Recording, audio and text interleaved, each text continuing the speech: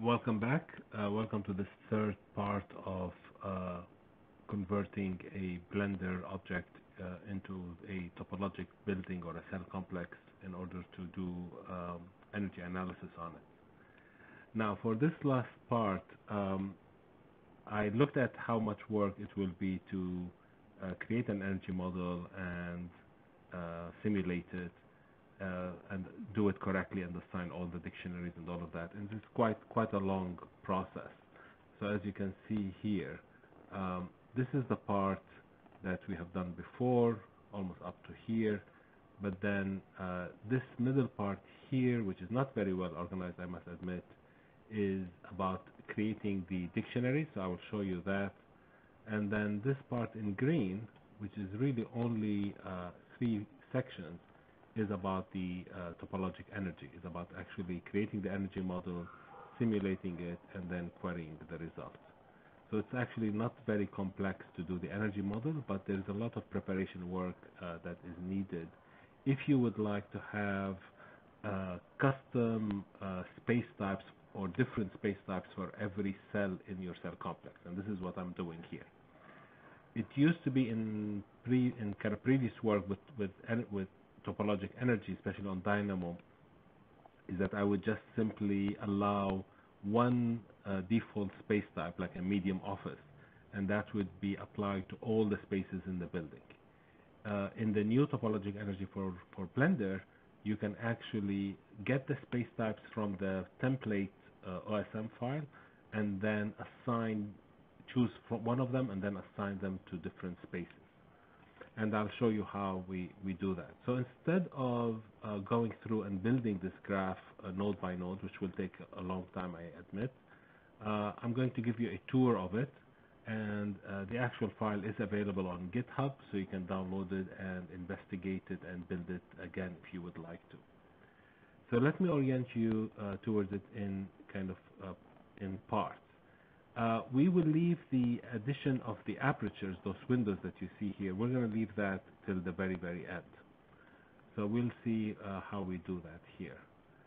So um, the first thing is to get the OSM template. So uh, it's really important to have a good template. This you can create in the OpenStudio application or you can download it from our GitHub. Uh, this one is for offices and it has all types of space types for offices, like small office, large office, medium office, uh, kitchen, staircase, lobby, IT room, etc. All sorts of uh, different uh, space types. We're going to be using two space types out of it. We're going to use a large office for the perimeter, and we're going to use a stair core for uh, the core uh, cell that we have here. So after we um, get a file path, which will point to a uh, OSM file in the in the folders. Uh, we have a uh, a node called energy model by imported OSM. Now all these nodes that are related to topologic energy, you can find them under topologic uh, energy model here, and there are now these uh, methods, and hopefully we will add more. But as you can see here, we can uh, create an energy model by an imported OSM. We can create it by topology, which is you know from the cell complex, which is the main way to do it. We can get the default construction set, so it's important in your template that you have default construction set, default schedule sets, uh, which we don't use here actually, I believe. Uh, we can export to OSM at any point, so if you've added the geometry, you can just simply export it to OSM and continue your work in the OpenStudio application and then you can query the results. Uh, you can run the simulation, so that comes actually first. So you run the simulation first, and then you query the results. Uh, as I said, you can get all the space types from here. You can get also the SQL file so that you can feed it into the uh, query. Uh, and then you can get back the topologies if you want to get back the geometry out of the energy model. All right, so we uh, as I said, we get this OSM template, uh, so we get an energy model uh, out of it. Uh, so what we are doing here is we are getting all the space types. So you notice that we have uh, 13 uh, space types and we flatten them. And out of that, we are choosing index 1, so we're getting a, an item out of that list. And so we are choosing the stair here, the office stair, which is for zone, for thermal zone 4 to 8. And we are getting a large office as well. So we just simply can, you know, um, click through the indices until we find the one we want, and we just simply leave it at that index.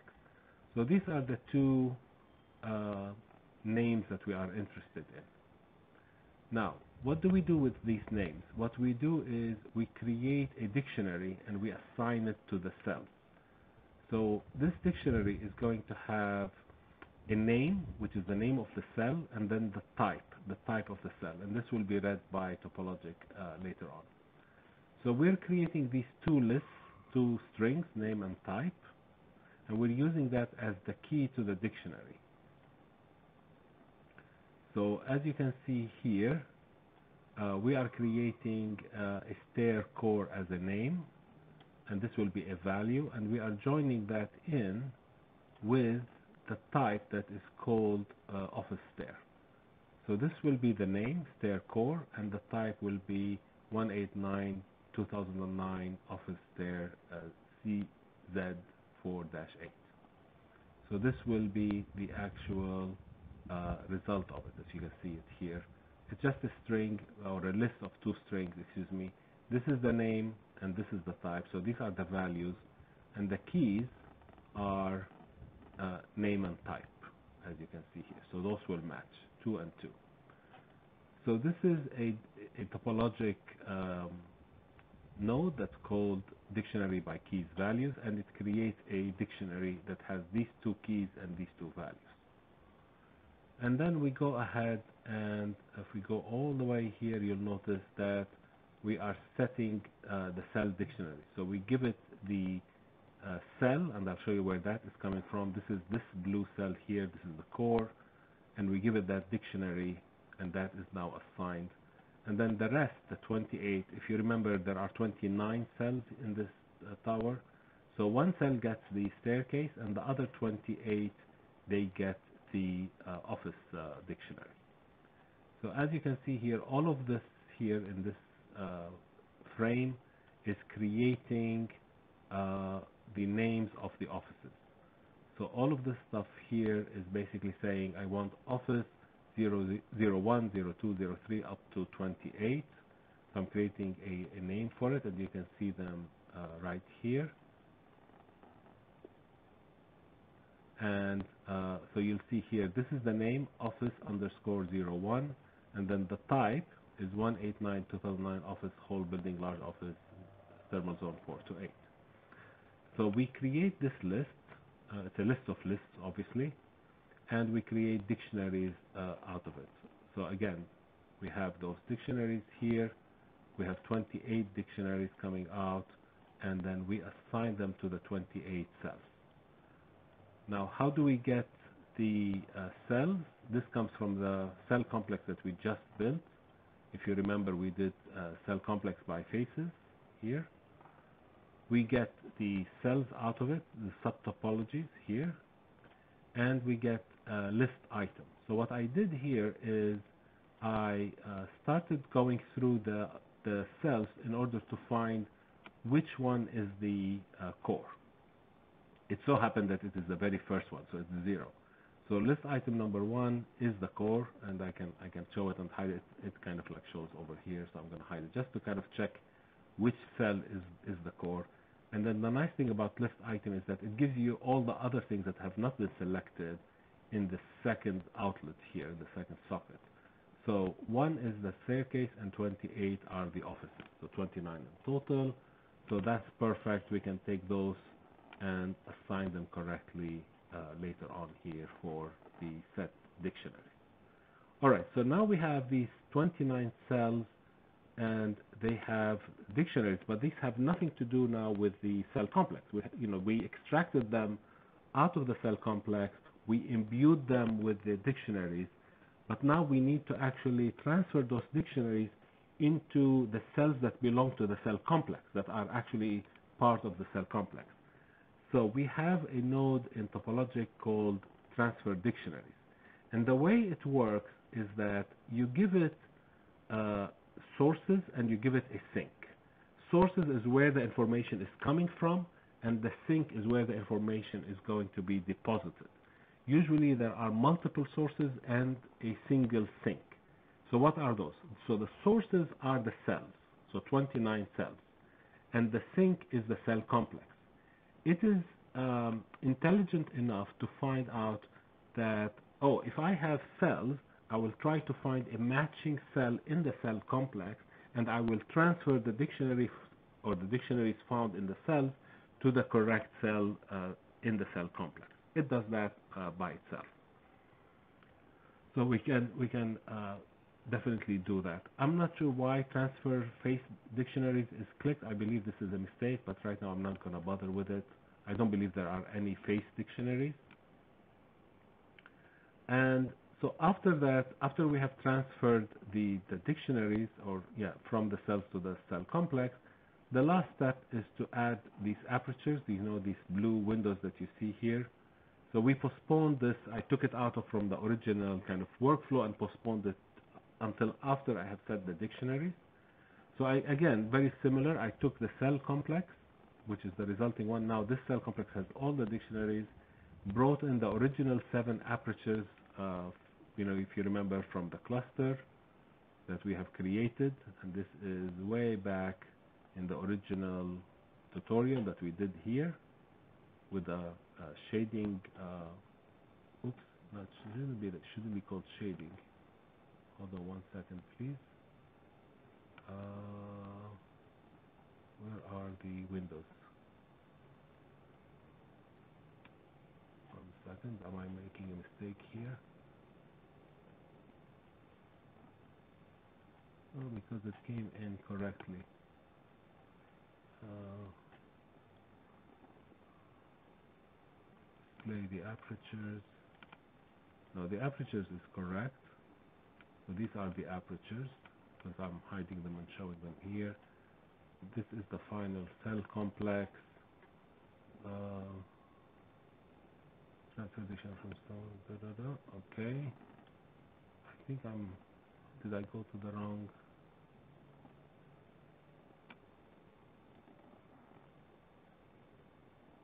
Right. I think I went to the wrong uh, subtopologies because I have 7, 1, 2, 3, 4, 5, 6, 7. Okay, I will then uh, pause and fix this because this should not be the shading planes.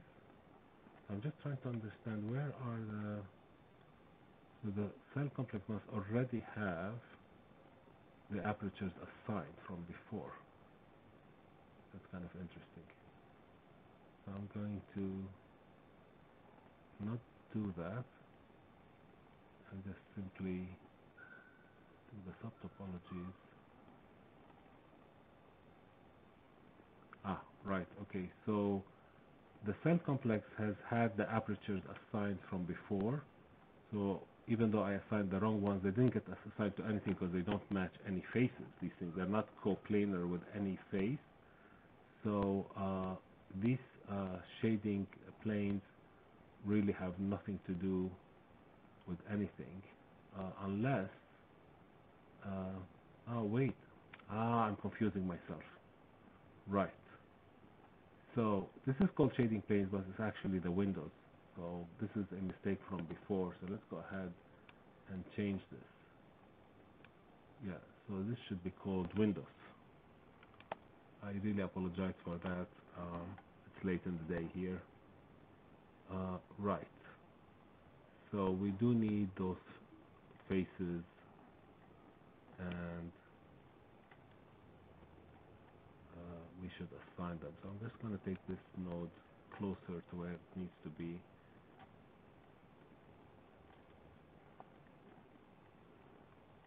Here.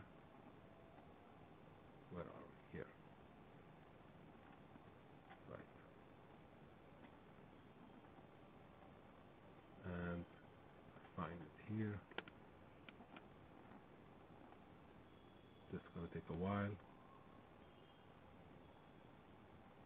and it will uh, assign the apertures correctly.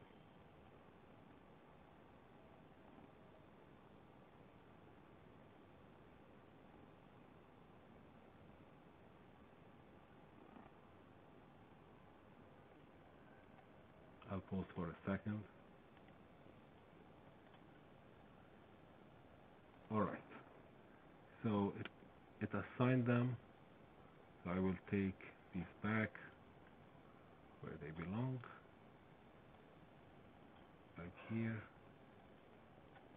Sorry. Alright.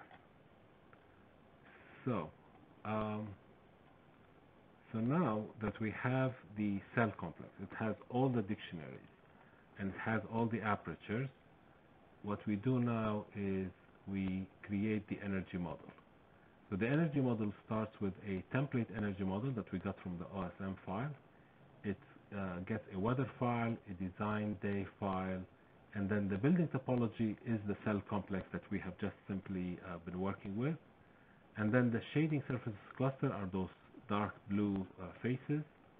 And then floor levels are, I think they're still wrong because this, I'm using the old floor levels. It doesn't affect anything really, but the OSM file will be wrong. So what we really need to do is uh, fix the floor levels. Oh, sorry. Uh, let's see, where are the floor levels coming from? Um, hold on one second.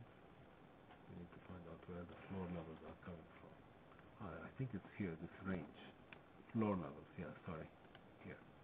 So uh, this one should, the step should be 4 and it should be from 0 to 28, right? So, um, so 0 to 28 and then gonna run again. Ah, I should have turned it off. Sorry, it's gonna run the simulation one more time. Apologies for that. I need to turn it off. And I'll show you how to turn it off because run simulation has a checkbox that says run and if you uncheck it you can save yourself a lot of time by not running the simulation every time you change an input parameter.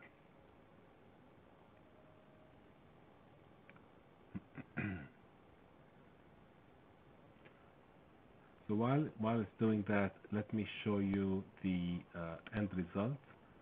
So it will save uh, the file in the folder that you have specified.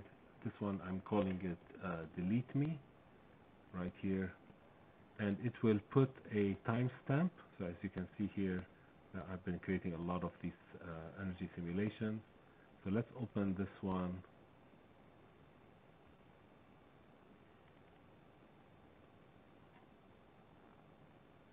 And here is the uh, OSM file uh, the final one. So let's double click it it will open in the Open Studio application. And this is a good way to check whether the geometry is correct, whether all the information is correct in there. So we'll just go immediately to the geometry and check our work. We can hide and show the walls. Uh, let's, let's not make it perspective. And we can rotate it and see the work. And you'll notice that it has the correct shading devices, has the correct uh, windows as we have specified, and all the files are, are correct in terms of their, um, or all the surfaces are correct in terms of their orientation, etc. So uh, we can, uh, you know, remove these things, uh, show roofs, show windows, show doors. We don't have any doors. Shading devices are correct. And then uh, if you don't see the wireframe, of course, you don't see anything. All right. So let's see if it has uh, finished here. No, it's still going, unfortunately. Yeah, it's, it's quite, it's going a little bit, taking too long, so I'm going to pause again. Okay, so it finished. Took a few minutes. Um, as I said, it's unfortunate that I had forgotten uh, this checkbox here, so I'm going to turn it off. And what happens here then is that uh, for the floors, uh, they should really be from 0 to 28 in increments of 4 meters. So we should change that here. Um, and then you can give it any name you want. You can give it any type you want. And then you have to give it a default space type. So again, I grab the space types from the template OSM and I just choose one. So I go to index 10 and uh, that is the medium office and I assign that. In our case, all the spaces have a space type, so the default doesn't apply. But just in case you have missed one, it will be a medium office. Uh, after that, you uh, tell it where the north axis is, and 0 means positive y. Uh, if you put a glazing ratio of 0, it will just simply take into account uh, the actual apertures that you have uh, modeled onto the building. If you put a glazing ratio uh, above 0, then the surfaces that do you know do not have a dictionary that says what the glazing ratio is uh, will um, will get the default glazing ratio basically. And then you can set the cooling temperature and the heating temperature. This is for a kind of a default uh, air handling system. Uh, and you'll notice here that uh, we're getting a model, an Open Studio model. That's what we call an energy model. And then we actually go ahead and simulate it. And in order to simulate it, we feed it the energy model, we feed it the weather file uh, path, we feed it the path to the OpenStudio binary, so this is the openstudio.exe file, and then we give it a an, an output folder of our choosing. And uh, when we click run, it will actually run, and it will give us back the energy model, but now this energy model has an SQL file attached to it, which is the results of the simulation. Based on that, uh, we can get now the uh, information from the file, and these are the same as uh, the reports. So if you or the run, excuse me. So if we go to run and we go to this one, E plus tables, energy plus tables, you can get information from here back into uh, Blender. So we get the information back and these are the values. And then what we do is we match them uh, with a uh, with a color. So we have something called uh, color by value in range. So we give it the actual values with the minimum value the maximum value. We decide on a uh, transparency. If we want a transparency so I'm giving it a 0.6 here. And then we match it with the 29 uh, cells that we have uh, from the cell complex, right? So these are the ones that come from the cell complex. Um, and that's it really. Uh, you'll notice here, uh, so in order to match them, we're getting the row name. So the row name is exactly the name of the space type, the thermal zone. So the row name comes from the cells, and we uh, join it in and we add the word thermal to it.